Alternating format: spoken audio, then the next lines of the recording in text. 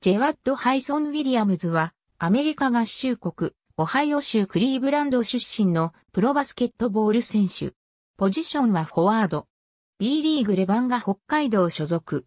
ノースカロライナ大学では2005年に NCAA トーナメント全米王者に輝く。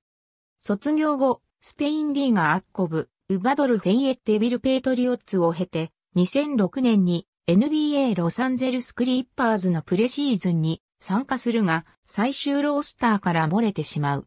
その後、バドルアナハイムアーセナルでプレーし、2007年、レラカムイ北海道に入団。2007から2008年のシーズンが終了後、レラカムイ北海道を退団し、NBA クリーブランドキャバリアーズに入団。2009年2月ンバドルリオグランデバレーバイパーズに移籍。同年10月再びクリーブランドキャバリアーズに移籍。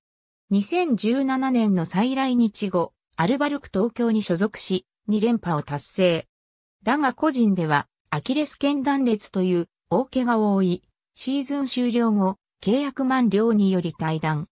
その後は、復帰に向け、リハビリやトレーニングなどに励み、2019年11月、再び来日し、越谷アルファーズに入団。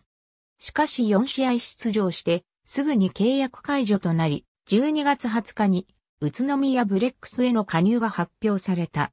2020年6月26日、レラカムイ北海道の更新チームであるレバンが、北海道への移籍が発表された。ありがとうございます。